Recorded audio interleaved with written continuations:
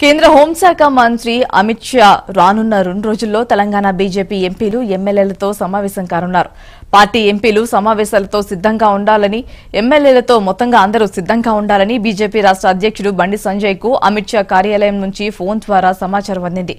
ఈ సమావేశంలో రాష్ట్ర రాజకీయ పరిస్థితులు వరిధాన్యంపై టీఆర్ఎస్ వైఖరి ప్రజా సంగ్రామ యాత్ర పార్టీ భవిష్యత్తు కార్యాచరణ తదితర అంశాలపై సుదీర్ఘ చర్చించనున్నట్లుగా పార్టీ వర్గాలు తెలిపాయి.